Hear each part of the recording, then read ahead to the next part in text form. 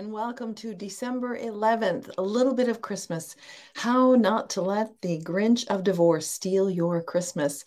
I am Kathey Batey with Divorce Support Anonymous, and I'm so grateful that you joined me. Thank you to those who have followed with me the past 11 days. This is December 11th, so I am grateful for your time and uh, just being able to connect with you. So thank you means a great deal to me. Wouldn't be any fun if I didn't have people out there paying attention and would love your comments. Uh, how has it been of help to you? Uh, so, a couple of quick, quick, quick announcements. January 4th, webinar, seven o'clock, free. We'll talk about planning a future. And then on the 10th, we'll begin a new support group, which is going to be hybrid. Connect with me for registration form. December 11th is going to start divorce coaching after um, life coaching after divorce because there is life after divorce. And that's going to be in, begin January 11th, online only. Okay, enough of that. Enough of all that stuff. So now I want to talk about the topic today. And to topic today is peace. I realized as I was going through my divorce and all of the turmoil and the tension and the stress of life and certainly of the divorce just got to be too much. And I know for you, there are moments when you are overwhelmed because it is just too much. And from that experience, and also in working with people over the past 17 years, I realize that what our hearts long for most of all is peace. Peace inside of us. Please let all this tension and all this stress stop. We want peace in our relationships. We want peace with ourselves. We want peace with God. All of that, we want peace. And so I want to talk about that today and to give you some helpful tools on how to um, how to get there and how to work on getting to peace. You know, there's a wonderful Christmas carol. I heard the bells on Christmas Day, and I haven't seen the movie yet, but there's a movie that has come out on how this was written back in 1863 by Henry uh, Wadsworth Longfellow. So, wow, talk about stamina and talk about staying around for a while. That's a long time for a Christmas carol, and yet it is one of my favorites and i get choked up when I, always when i get to this part of the song. There is no peace on earth i said for hate is strong and mocks the song of peace on earth goodwill to men. Oh don't we know that? And in despair i bowed my head. There is no peace on earth i said for hate is strong and mocks the song. And we we could despair when we hear that. And when that always gets my attention in that in that song and that was just really two different versions of the song. Uh, one's a direct quote and one was my trying to get a direct quote. And you could despair there but the next verse the next stanza gives us hope. Then rang the bells more loud and deep. God is not dead nor does he sleep. The wrong shall fail the right prevail with peace on earth, goodwill to men. And you can just feel as you sing or listen to that Christmas carol the despair and then the contrast of God's not sleeping, He's not dead, He's paying attention. And the truth will prevail, and goodness will prevail, and justice will prevail. I find that Christmas carol just incredibly uplifting and encouraging not because of the, the despairing part, but the part that says God's not asleep, He's paying attention. And so, as we look at how do we get peace, how do we find peace uh, in our lives right now? And there's a, so many different areas where we need peace, right? We need financial peace, we need relational peace, we need peace with self, we need peace with God, the spiritual aspect of it also very important of course peace with god is the start of everything because once you figure that out everything else falls into place. But i want to give you just a, a couple of helpful tips. If you are just distraught overwhelmed and despairing like the song said number one still yourself. And you'll see behind me on my shoulder over here is a, a plaque that I have that says, Be still and know that I am God. So just to be still. And sometimes when we do that, our mind starts racing and we can get very tense, tense because when we're busy, we're active, we're distracted from, from our peace and all of the issues.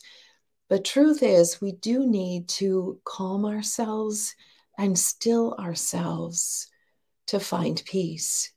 Breathing deeply actually matters because when we are stressed, we breathe very shallowly and we don't get good deep breaths in. So we don't engage our entire body. We don't get enough oxygen to our to our body to our brain. So breathing deeply is actually a way in which we can restore peace to ourselves. This has been proven over and over again and is just so simple right? Well god makes things simple. We on the other hand complicate it a lot so still yourself and whether that's in the total silence or if that is with some music playing in the background, still yourself, breathe deeply. Just don't move. Just find a peaceful spot, be still, breathe deeply. Number one, this is going to open up our mind, our heart, and our spirit and our body um, to other things, to good things. And then we're going to hold on to that which is good we're going to look at the good things in our life. And this is the point where that gratitude, as we spoke about yesterday or two days ago, is vitally important because gratitude makes our world bigger. It's just a fact. When we are grateful, our world is bigger. Hold on to that which is good. Find that which is good within your life to hold on to, that which makes you smile, that which makes gives you peace. It can be as simple as someone who placed their arm on your shoulder and I have told the story many times when I was going through my divorce and went into church and just so hurting. And someone would put their arm, just touch my arm, and it felt like salve to a burn. It was just so, so beautiful. So hold on to that which is good in your life. And then there's a verse that states it so beautifully whatever is noble, whatever is right, whatever is pure, whatever is lovely. And there's a few other descriptors there um, all the good things, think on these things. And this is a verse that when I get personally stressed or my mind is wandering in, in too much negativity, I say, well, wait a minute. Think on what is noble. Think on what is right. Think on what is pure. Think on what is good. And this can get me back on track. So that's a beautiful verse to help us to remember to hold on to that which is good. And thirdly, denounce your past mistakes and forgive yourself. Many of us are so tormented by our past mistakes that we can't have peace. It is time, friend. This can be the gift that you give yourself this year to forgive yourself of the past. You had reasons for doing what you were doing. It probably not healthy reasons if they were um, great mistakes, but you maybe didn't know better. Maybe you were desperate. Maybe you were depressed. Maybe you had some strange motivation to prove something to yourself or someone else. Who knows? We have so many reasons for our past mistakes. It just call it sin and get it over with, right? Denounce these past mistakes because they do not define you at all. Forgive yourself. It's time to let that sin against yourself go. Because until you forgive yourself, until you let it go, you will never have peace with yourself. And forgiveness is something that we get with God. And when we ask God, God, and I've done this too many times that I care to confess, God, this was wrong. We're simply agreeing with what God says. God, this was wrong. It was sin. I am sorry. Please forgive me. And that, with a sincere heart, is all that needs to be done. And Jesus puts that upon the cross of Christ, never to be noted or spoken about in the heavenly realms again. Denounce your past mistakes, forgive yourself to find peace.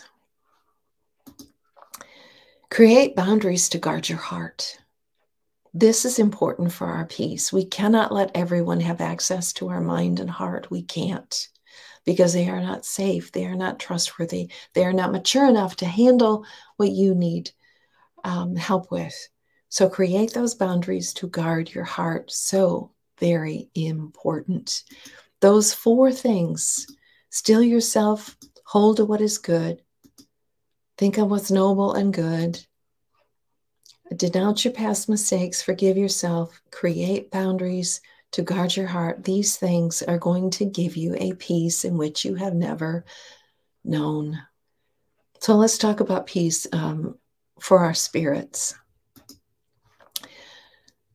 He was pierced for our transgressions. And this is a verse out of the Old Testament, and yet it is defining Christ in the New Testament and what he did for us. He was crushed for our iniquities, our sins. The punishment that brought us peace was on him. There's no condemnation for those who were in Christ Jesus. Our peace was bought. All of our punishment, transgressions, iniquity, sin, faults, mistakes were placed upon him. When you receive him, you will receive the peace that Christ has bought for you. He tells us, Peace I leave with you.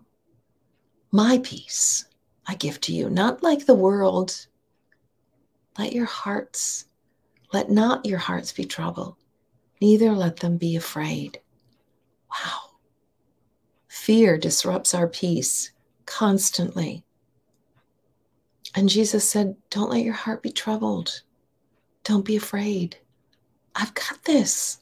I've got this for you. And that includes your past and your future. If you partner with Him, if you ignore Him and say, No, I can do it on my own, God, then you're not going to get the direction that's really going to give you peace and happiness ever because God holds it within his hand. And the peace of God, which surpasses all understanding, will guard your hearts and your minds in Christ Jesus. And the peace of God, which surpasses all understanding, you can be in the middle of all kinds of crap, but God can give you peace and it will guard your heart and your mind in Christ Jesus.